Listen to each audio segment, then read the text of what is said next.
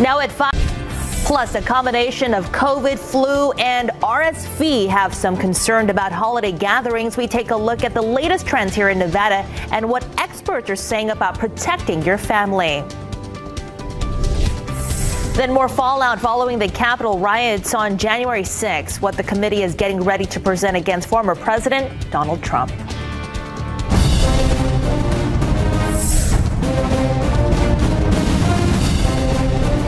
Taking a live look at Allegiant Stadium tonight, where the Raiders may have just won the game of the year. Chandler Jones returning a botched last second lateral from the Patriots for a touchdown to win as time expired. Head coach Josh McDaniels getting the victory of his former team and mentor Bill Belichick after the game. Fox 5 sports director Kevin Bollinger spoke one on one with tight end Darren Waller, fresh off the win. We are here with Darren Waller after one of the most stunning endings to an NFL game I've ever seen. Have you ever seen anything like that in your football career? Uh, not really.